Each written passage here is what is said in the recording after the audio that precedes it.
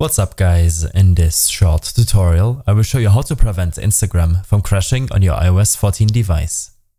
This should be quite an easy tutorial, but if you still have any questions then leave a comment and let me know. Close other apps from running in the background to free up some space for your device to utilize. Open up your App Store and make sure that the Instagram application is up to date. In addition, you should also make sure that your device is running the latest OS update. To do this, open up your native settings application.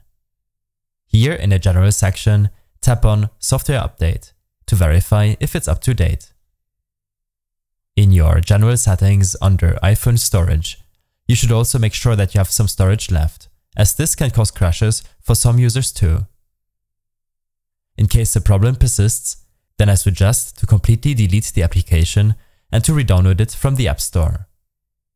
This will force you to log in with your account again, and the saved cache files from the app will be removed as well. As a last resort, you should restart your device as some processes will be restarted and should enable you to use the application without crashing. I hope this helped you out. Leave a comment if you have any questions and see you in the next one.